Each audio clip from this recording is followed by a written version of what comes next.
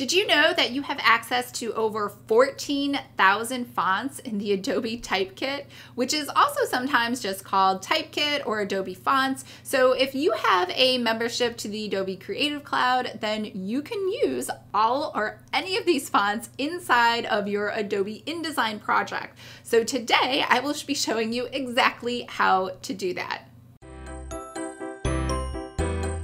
Hi everyone, I'm Lisa from Pretty Fabulous and I help online businesses create beautiful digital downloads using Adobe InDesign. So if this sounds like you or something you might be interested in, make sure to hit the subscribe button below. I post new videos every Monday and Thursday and I do unboxings on Saturday. I'm gonna go ahead and flip the screen around and share my screen with you so you can see exactly what I'm looking at. So the first thing you're going to do is make sure that Adobe InDesign is shut down. So do not have it open in the background. Just have it shut down completely so that it will sync correctly. Now up here at the top right is your Creative Cloud symbol and it usually defaults to open up the applications and launch those for you. Again, this is a Mac, so maybe on a PC it's in your start menu. I honestly have no idea.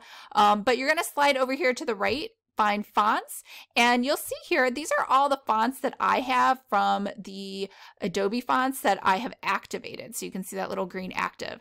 Now, if you get one of these error messages, it is not a big deal. This just means I already installed the Lato font before before I had tried to install it with Adobe Typekit or maybe before I had Creative Cloud. I have no idea.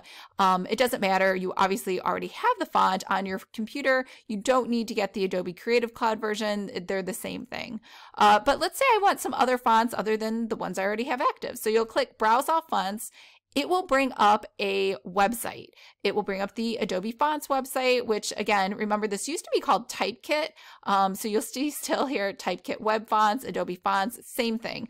Um, I think they just renamed it for branding purposes. So over here at the top right, since I'm already logged into that Creative Cloud, it logged me into the website. However, sometimes, I don't know, on depending on your computer, you might have to log in again. So you'll have to see yourself and it will have to be the exact same login that you used to launch the application. I don't know if some of you have multiple Adobe Creative Cloud accounts, but if you activate something in here on this website and you're not logged into the correct account or somebody else is logged into your computer, it's not going to sync. Um, so make sure those are in place first. Now you can search fonts here. I could just type in a font name and it will come up uh, and I could select it that way, or I can go back here to browse fonts.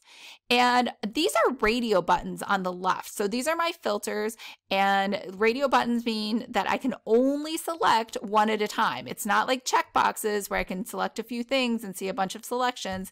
These are radio buttons. So let's say I want to install um, this one, lemongrass, right? So I'm going to go, or let's do coniferous because this has six in there. And I'm going to click view family. And I'm going to see inside here, I can do coniferous thin, coniferous light, coniferous regular, coniferous medium, bold, black, right? So there's all these different variations and I could activate them simply by clicking that little slider over here, or I can deactivate it. Or if I just decide I want all of them, I can simply say activate all six fonts. So here is your confirmation and that's pretty much it. You're done. Once you open up Adobe InDesign, you are going to be able to see Coniferous. So let's head over there right now. It'll take a minute to start. All right, so let's just open up a project that I was working on. And over here under the fonts, so we're going to go ahead and look for coniferous, if I can spell it. And there it is. We said add the whole font family and it's all in there and waiting for me. So it's really just that easy.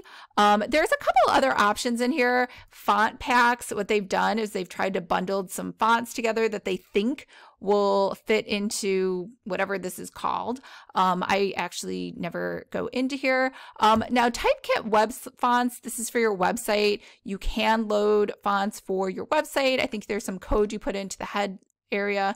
Um, and this is just them trying to advertise their Adobe stock, photo stock. Uh, so that's pretty much all you need to know to use the Adobe fonts.